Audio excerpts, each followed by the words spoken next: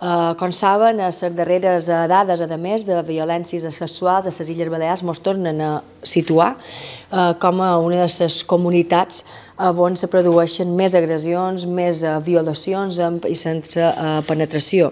I per això nosaltres no defallirem el govern de les Illes Balears en reclamar més recursos, a posar tots els recursos en el nostre abast, però també a reclamar en el govern d'Espanya més recursos. Com saben, ja fa molt de temps que venc reivindicant un altre, un altre jutjat de violència contra la dona i també més eh, cossos i forces de, de seguretat. Som una de les comunitats autònomes on tenim la ràtio més baixa de Policia Nacional de SUFAM per cada dona que és víctima de violència eh, de gènere i per això tampoc no defallim en reclamar en el govern d'Espanya que prengui partit perquè les dones eh, d'aquesta comunitat no, no, no volen ser, no volen estar amb eh, desavantatge ni estar manco protegides que les dones d'altres eh, comunitats.